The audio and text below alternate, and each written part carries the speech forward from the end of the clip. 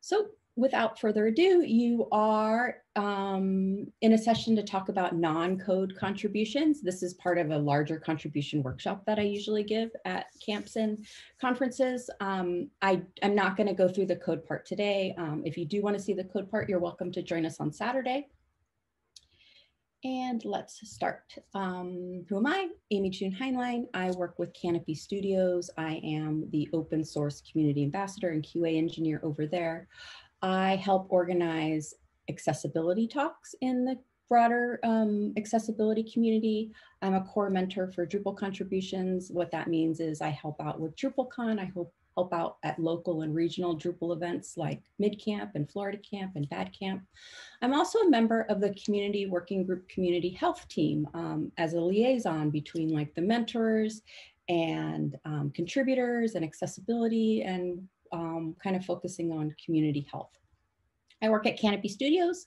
Uh, they are an open source website strategy, design, development, and support agency. We specialize in data driven intelligent solutions and we're hiring all different kinds of positions. So hit me up. Um, I think I'm the only Kanopian here at MidCamp, but you're welcome to reach out through Slack. Um, and um, I live in a very urban community and um, we have lots of people who make up our community. And it's very important to think about how our communities deal with racism. So I just want to um, make sure that our community stand um, against hate um, and racism. Hate against Asian American Pacific Islander communities have risen during the COVID-19 pandemic. And I just want to make sure that everyone is aware of that. Um, so why are we here today? Um, you can see this slide is divided up into two different parts, um, but we're gonna, like during this sort of, I'm gonna do like a little bit of a slide presentation and then we'll just talk. But um, we're gonna talk about why we contribute the benefits of contributing and then the different types of non-code contributions. And at the bottom of the slide, um, really talks about what I'm going to do in the workshop on Saturday, which is really focusing more on that code part of contributions. we will go over um, issue queue etiquette, um, like kind of give like a higher level uh, look at what the issue queue is. Um, we'll go over the old patching and review process, and we'll chat a little bit about pull requests on Saturday. So why contribute? You know, the guilt thing, if you depend on open source, open source depends on you. Um, but more than anything, you know, um, your values, your, your contributions are really valued. Like working with the best and brightest in the Drupal community, um, everyone has something to contribute, whether or not you're a, you're a, a coder or human resources or you know a writer. Everyone looks at Drupal in a little bit different way. So everyone values everybody. And then contributing makes you feel like you're more part of the Drupal community. Um, say you're going to camps and cons and you're participating in the hallway track and you're participating in sessions. But once you know how to contribute, you can go to contribution day, which is another aspect, you know, and you meet different types of people. So it really makes you feel more integrated in that Drupal community. And then say you work for an agency or a Drupal shop and it's not one of their highest priorities, you know, and maybe you don't have the privilege of contributing on your own time because sometimes contributing back to Drupal is a privilege that some of us don't have.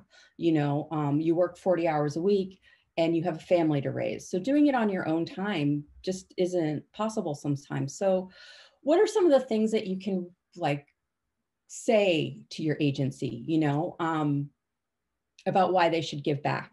Um, again, back to that, Drupal depends on sharing our knowledge, you know, um, because companies are consuming Drupal because it's that free open source, you know, so they certainly should give back, you know, um, they should appreciate that value of helping each other and appreciating others and helping with it. When we all help, when every agency helps, it really uh, reduces that duplicating effort and redundancy sometimes. You know, if you create a patch for something and you give it back, that's one less thing some, someone else has to worry about. That patch is already created.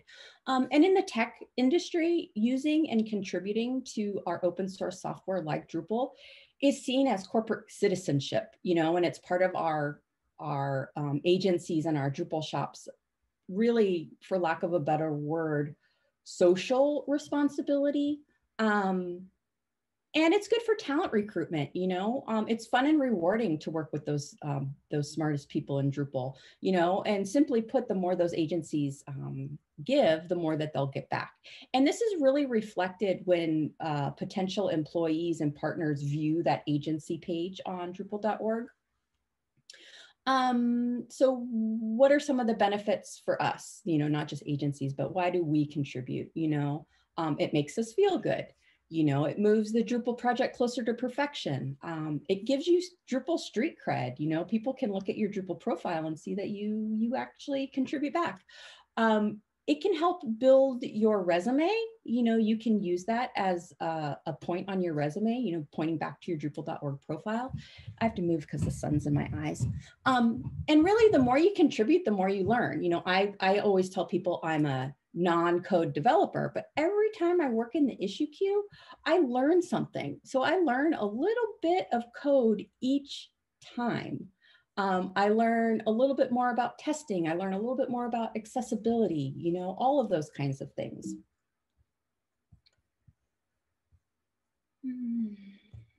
Um, this is an example of a Drupal.org profile. I just like to use Dries because why not? You know, um, this is that part where you can kind of um, help build your resume, right? You know, you can see there's a little bit of a bio. Um, it has a little bit of a work history. You know, if he worked for other agencies beyond Acquia, that would show up there as well. Um, you can see how long he's been on Drupal. You can see he hasn't really worked on Drupal recently, but it shows his recent contributions and different, you know, core commits and things like that. It shares his social links. Um, this picture doesn't reflect it, but it shows mentors. Um, so this is that part of that Drupal resume. And like I said, we're really going to talk about non-code contributions, so different types of contributions. Um, and I cannot stress this enough anytime I talk about giving back to Drupal you can still give back to Drupal in many ways beyond code. And you can give back every day of the year without ever having making a patch. That's something really valuable uh, to think about in that. And I think that the mindset of some people think that it's always about code, but it's not.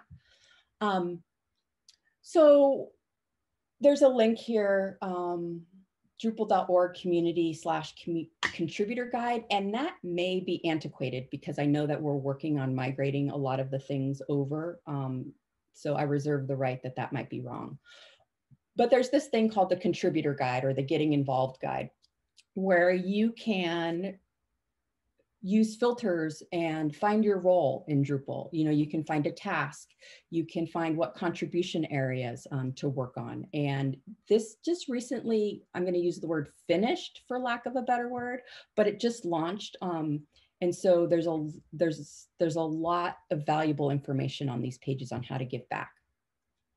And contributions can take all kinds of forms. Um, external documentation guides, translations, sharing knowledge, um, extending Drupal through themes and modules, promoting the platform, organizing events, and the issue queue. And I'm going to go over some of these in like really fine detail in just a minute.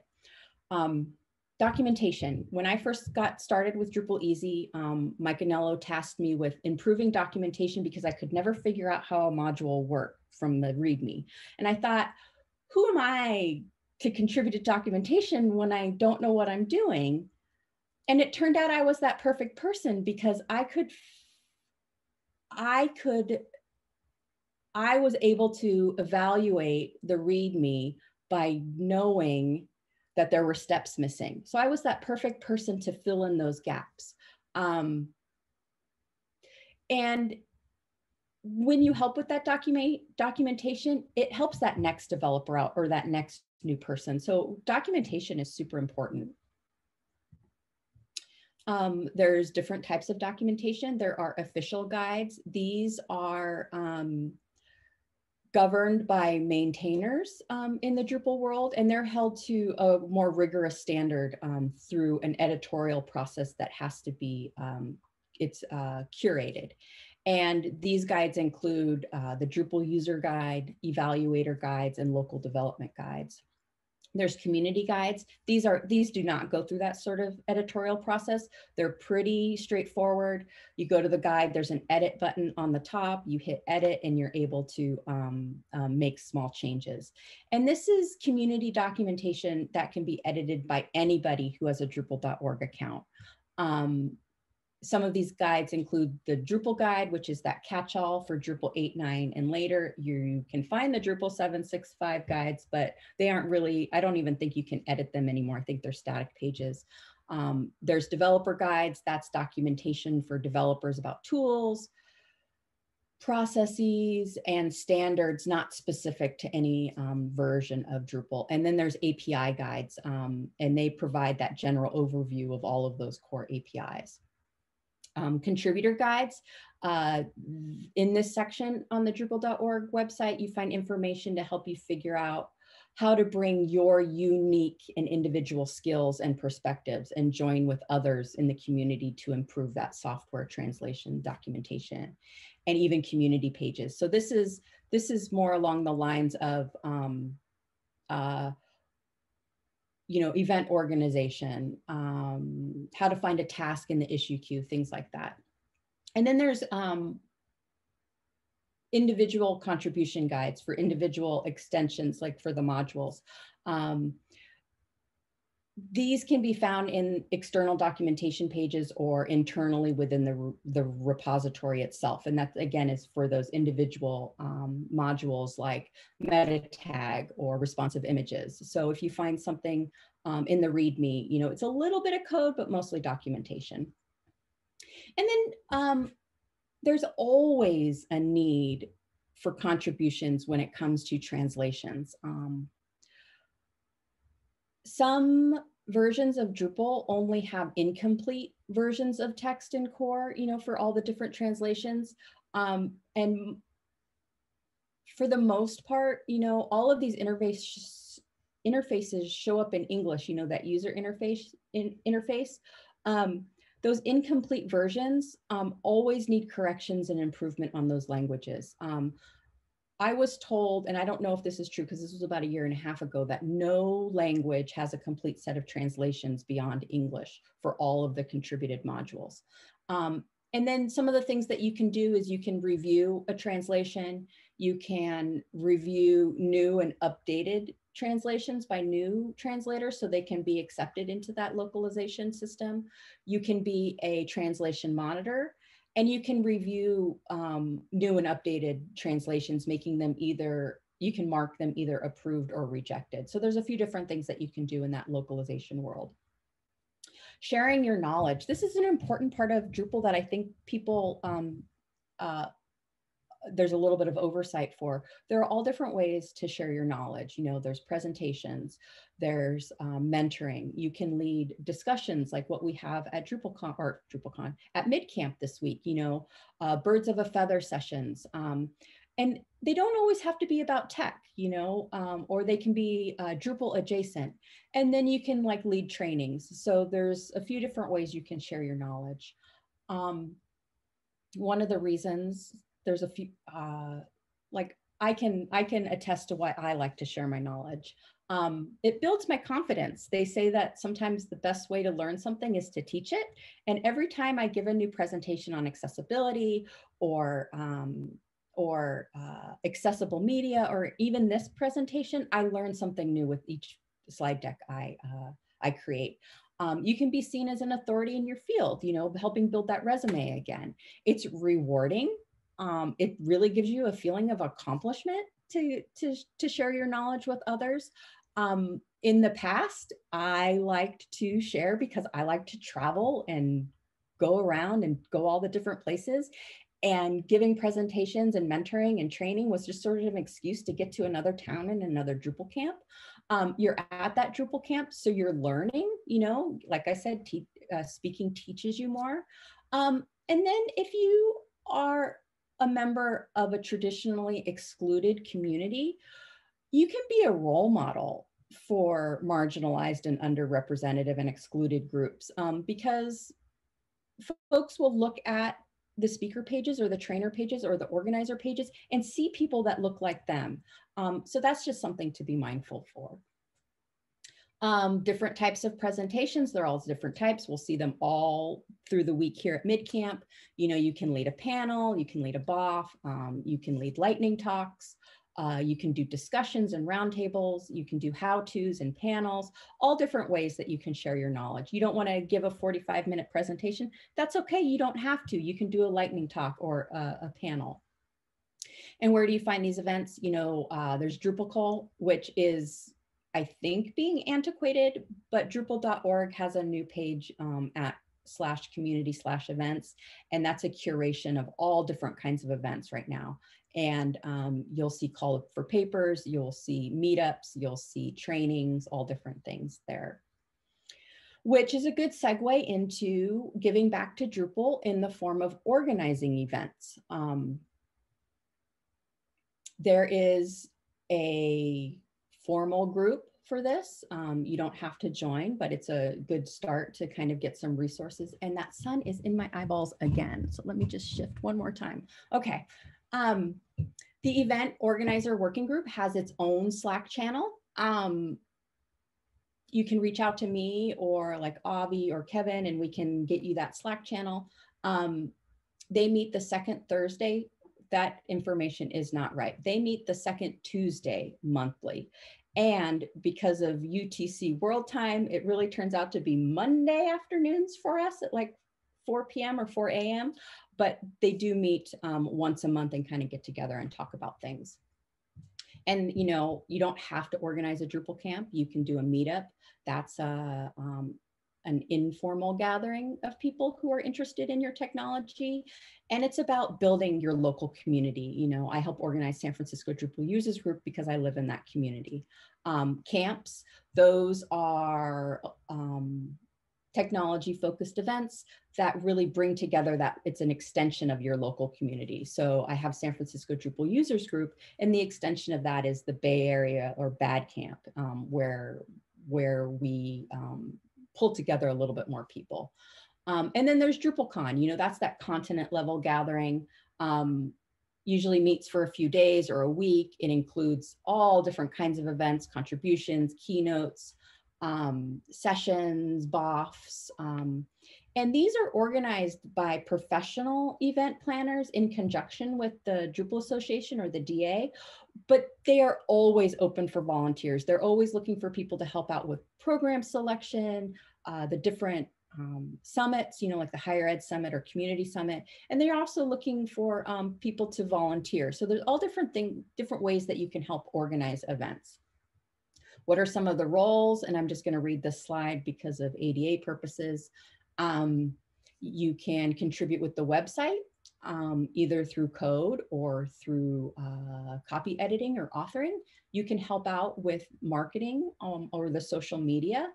You can provide trainings or do training outreach. You can help organize and select sessions or pitch sessions. You can help out with financing. You can help out with social events. Um, in more traditional times, helping out with swag or print, you know, um, audio visual. You can coordinate volunteers. You can help with contribution days. Um, there's sponsorship wrangling. There's always a need to help with accessibility in all of our spaces. Um, also, it's really important to make sure that we represent all of our communities in our in our camps and cons. So diversity inclusion and equity is a good way to get involved. And then there's the code of conduct. Okay, so moving out of event organization, something else that you can do to help Drupal is promoting the platform, um, letting people know it exists. You know, what is it, three or 4% of the web runs on Drupal? Well, you know, there's this little thing called WordPress that everyone seems to know about, and it runs 30%. Imagine if all of us promoted Drupal the way that WordPress promotes their platform. I think the numbers would like really, well, not shift to 30% necessarily, but those numbers can really have the potential to go up. Um, and there is a group specifically working on this initiative. You know, Suzanne Dergacheva from um, Evolving Web leads these efforts. It's called Promote Drupal. Um, they have um, presentations already made up for folks. So if you're part of an agency and you're pitching Drupal for a client, they have why you use Drupal presentations already made. But on the flip side of that, they also need help creating those presentations. They need help with social media, um, taking pictures of events and sending them to the initiative leads is a great way to promote Drupal. If you're at your local Drupal event and you take some pictures and you can spread those pictures around. And you know drupal is really fun and having those fun pictures is a great way to promote it. And then there's always a need for the creation of new logos. So if you're a designer or um, you know you're very creative drawing up new logos for for for the promoting um, the platform um, is a great way to give back. Um, let's see there's a marketing role you know let's say you're a marketer um, they're always needing someone to help, like write the copy. They need designers, they need videographers. Um, they really need communicators in this space, people who do a good job communicating and leading and um, sort of those influencer roles. And I already talked a little bit about translations and localizations, but this is this slide's more about that promote Drupal initiative because they need translations in that too. Um, they need folks to translate the pitch deck, um, translate the user interface of their uh, media. Um, and again, they need you know reviewers, moderators, and translators themselves. Um, in the issue queue, you know, not only is there a code issue queue, there are different issue queues in the Drupal space. Um, and reviewing content um, is a, a non-code way to give back. Um, there's Drupal.org site moderators queue. This used to be called webmasters, but in our in our quest for more uh, inclusive language, we've changed the name recently to site moderators. So um, a few of these I'm I'm going to list off. They are at Drupal.org slash project slash this one's site moderators. Um, site moderators is uh, kind of a low key entry into reviewing content. It's basically participating in the issues that come up in this queue, uh, providing guidance um, for some folks. A lot of it is um, reviewing um, user accounts and reviewing things that were flagged as spam. Um, sometimes it's a little hard to get in there and start, but I recommend kind of going through the issue queue and reviewing it maybe a couple of times a week and then when you think you get the hang of it, you know, jump in there, ask questions. Um, uh, everyone in that space is super nice and super handy and will kind of help you guide through those first uh, those first reviews that you do in the issue queue. And it's a great way to kind of get to know the new Drupal community because most of these people who are asking for content reviews on their on their um, accounts are new users. So it's a great way to meet new people. And then there's um, the link is wrong on here, but there's Drupal.org content queue, and this has all different kinds of things. Um, this is book listings, reviewing case studies, um, Agencies will request, will request case studies for front page promotion. Hosting accounts will ask um, for approval. Organizational profile, organization profiles um, don't automatically get put on the Drupal listing page. Um, they have to be reviewed by people, you know, and um, uh, different camps and different blogs will request access to RSS feeds through Drupal Planet. Um, organizations will ask for uh, uh, their organization page to be listed on trainings. And again, all of this stuff, if you review the queue and just kind of go through some of those past issues um, and familiarize yourself with what other moderators are doing, um, it's pretty straightforward and there's also documentation pages involved with this too but you know you're a non-coder you want to give back you have an hour you can spend some time in this content queue and you know, perhaps uh, approve a couple of case studies in that time. And this issue queue is very, very long. There is a backlog of organizations waiting for approval. There's a backlog of blogs that want to be on Drupal Planet. So this is a spectacular way to get some of those organizations and, and individuals, you know, getting started in Drupal.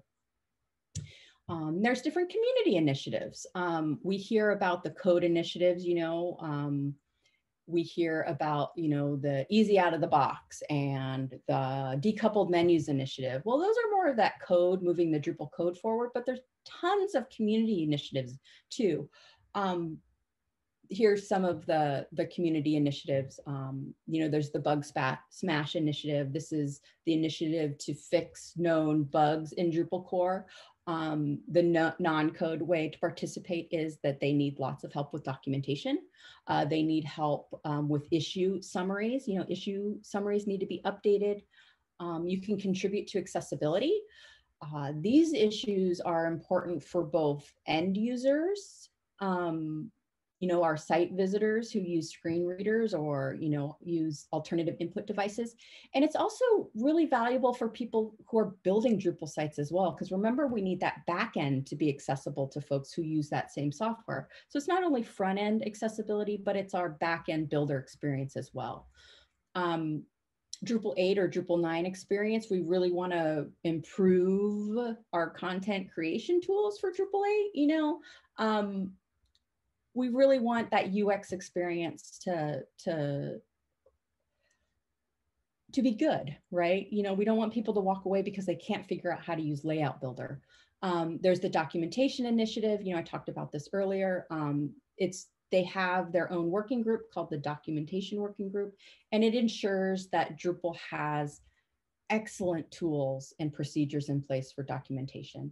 And Drupal Ladder, this is getting active users on Drupal.org to contribute to Drupal core by um, having issue sprints or, or learning sprints. And a lot of these are at Drupal group um, Drupal user meetups or camps and conferences. There is the Drupal recording initiative and Kevin's smiling, he's on this um, on in the attendees over here. But um, there's always a need for someone to help out with this because Kevin can't go to all of the camps, you know?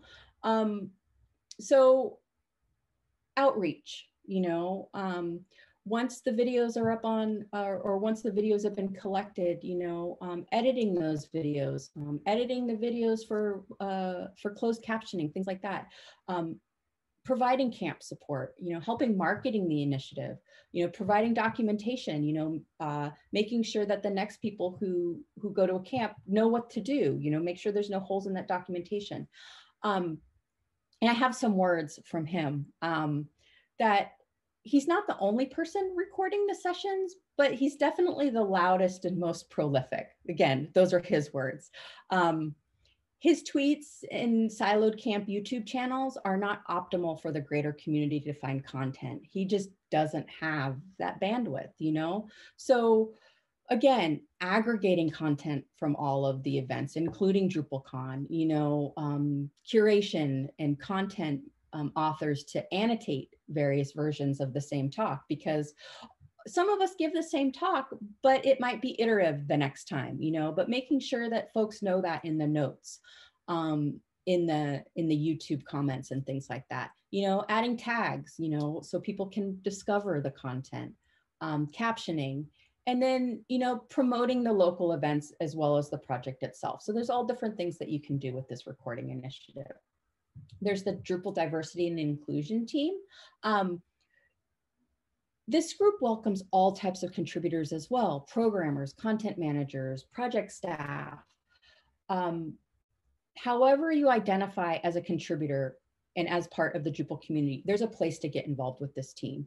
They have their own Slack channel. It's diversity dash inclusion in Drupal Slack. They have weekly meetings Thursdays at 9 a.m. Pacific time. Um, and there's a few different ways that you can give back to this initiative. They have a resource library, which is uh, say you came across a, a, good article recently, you can submit that. Um, you know, they curate resources. Um, they have a contrib team.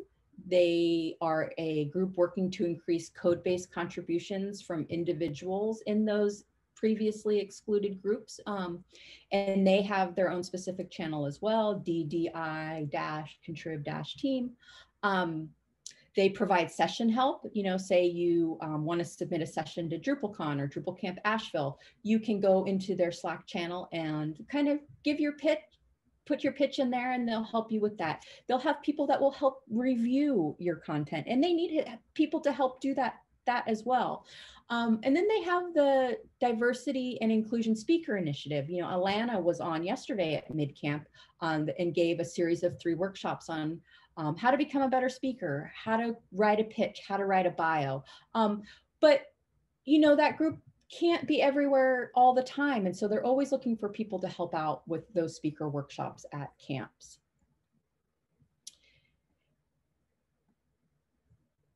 And um, there is the community working group. Um, there's the conflict resolution and code of conduct enforcement team. Um, this area focuses on conflict resolution within the community. Um, this isn't a really open space to get involved with, but currently right now they are looking folks to fill a role that is vacant. So that's why I have the conflict resolution um, team in here. Um, they have a community health and development team. Um, this area focuses on um, providing resources to the wider Drupal community. Um, I'm a part of this team. We share knowledge and raise awareness and promote engagement on issues that impact the Drupal community. Um, we're looking for subject matter experts, um, kind of global experts, um, uh, some of the subject matter experts we have now are like we have a diversity inclusion expert, we have a mental health expert, you know, so we're always looking for different people to help us out with community health and engagement. And then for more ideas, there's actually an issue queue, drupal.org slash projects slash issues slash ideas. There's an issue queue where if you have like this little thing that you're always thinking about, you can pitch the idea in this issue queue. Um, and there's all different kinds of things in there, privacy, CLI tools, Composer. Olivero, which is now in Drupal core, started out as an idea in this issue queue. So a good way to get involved is to kind of look at this issue queue. And if there's an issue in there that resonates with you, ask to collaborate, you know, give your input, things like that. And um, I'm kind of coming to the end of my curated part of the discussion, but I want to remind folks that you can volunteer at MidCamp. Um, we still have things open for tomorrow. You know, we're doing a non-conference. I don't know too much about it, but you can reach out to organizers um, and pitch your idea for tomorrow. And we're all kind of like getting around and voting and seeing what things we want to hear about. Um, we're looking for room monitors and we're also looking for organizers and volunteers for next year too.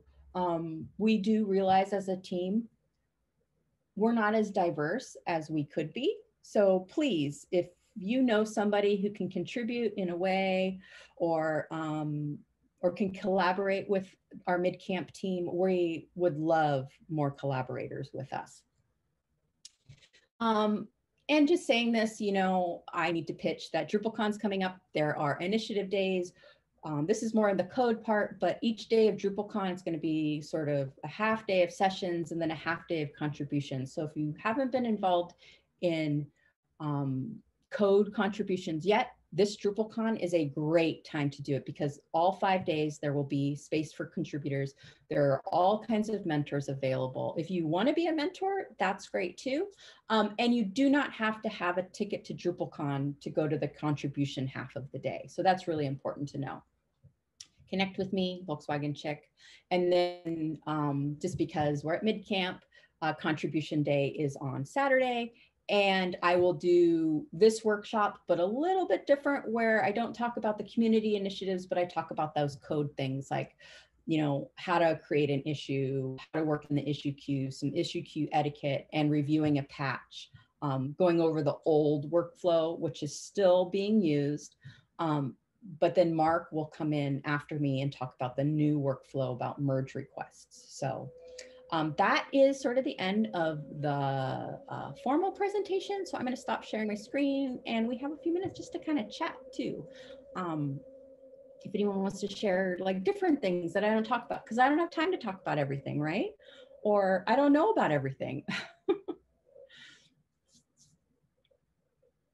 Anybody?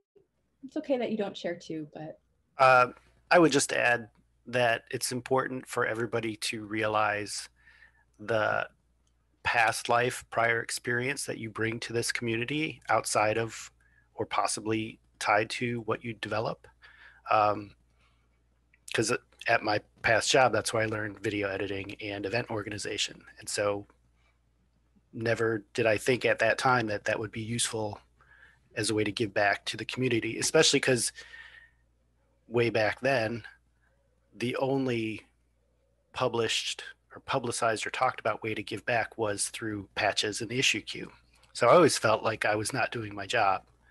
Um, but I, I think it's can't stress enough the value of what your past experience can bring.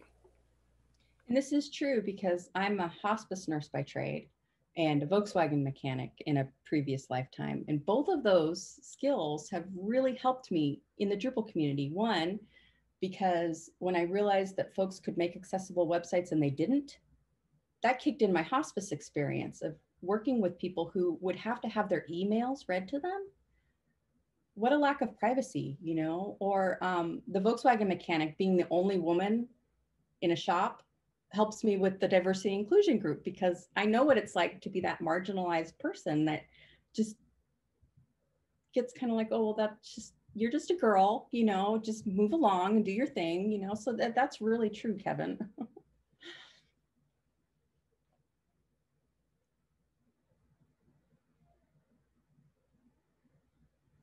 think Leslie's going to say something. Uh, sure, I can say something. Thank you. Um, I always join your talks. I really appreciate what you do for the community in terms of spreading all this information. So I join them because I, I don't have time to keep up to date on everything either. So having you go over all the new things that people can do then gives me that information that I can then share with groups that I deal with. So I really appreciate the fact that you take the time to do this. Thanks, Leslie. Yeah. Well, okay. So back to that past experience, right? Like I'm a mom of two boys and I homeschooled for a while because I lived really rural. That's sort of tangential, but whatever. But homeschooling like was really rewarding for me and then being a director of nursing at a at a where i trained cnas teaching people was really rewarding for me and when i first got into drupal um, that warm and fuzzy feeling of teaching people went away because and I missed that. And so I worked for a company that gave a lot of like community sessions and trainings. I was like, what can I talk about? And they're like, well, you know how to make a patch. I'm like, yeah, I don't know. That's the only thing I know how to do. And they're like, that's okay because someone else doesn't know how to do that. And when I started doing that, I started getting that warm and fuzzy feeling again. You know, like it's not just altruistic because it makes you feel good when you help people, you know, like like I can't stress that enough about like why I like do what I do is because it makes me feel good when I teach other people and I know that like the Drupal project's moving forward or whatever. And that darn sun. Um, I think there's a cloud that like like goes in front of the sun and stuff. And I have this, well, you can tell it's Venetian blinds. Um, the pandemic like has me in this little corner of the kitchen. But um, but like that that one thing that I knew though, you know, like Kevin, like the recording, you know, focusing on that one thing can really take you a lot of different places, you know? Like I said, I only knew how to patch. That's the only thing that Drupal shop had me doing was creating patches. And it was like, I didn't think that that was valuable because I thought, well, if I know how to do it and I'm not a coder, then other people already know how to do it. That was my thought. And it was like, wow. And I met Leslie at, um, at, at uh, NedCamp and I did my like first presentation on that, you know, and I realized that you can be in Drupal for 12 years and not know how to make a patch, you know what I mean? And so just like keeping that in mind that your individual skill set and experiences really can like help everybody out. So, but not everyone's a public speaker. And I know that.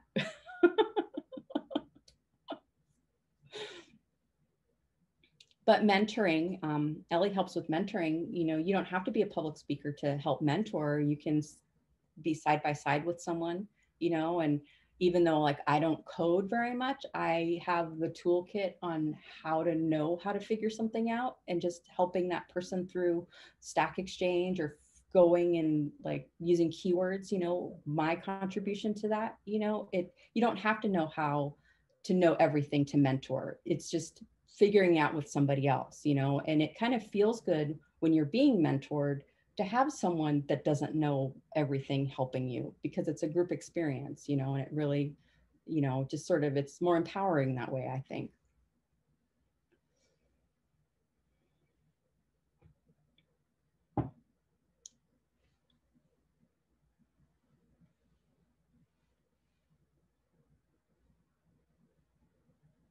Okay, so I've done a lot of talking, like maybe we can finish up and get two minutes back. Okay, thanks Leslie and Ellie and Kevin and Sarah for coming. I appreciate you all. Yep, thank you. And your, your recording will help a lot more people that, that may not have been able to get, come here today. So thank you, Kevin, for doing that. Oh, all the recordings are so valuable to the entire community. Really appreciate that. But yeah, not a lot of people necessarily can come to all, all these Zoom meetings and, um, but having the recordings is awesome. So even though there's only a few of us, you're, what you're saying will, will reach a lot of folks. So thank you. Thank you. Yes. Thank you, Amy June. Okay. See y'all in a bit.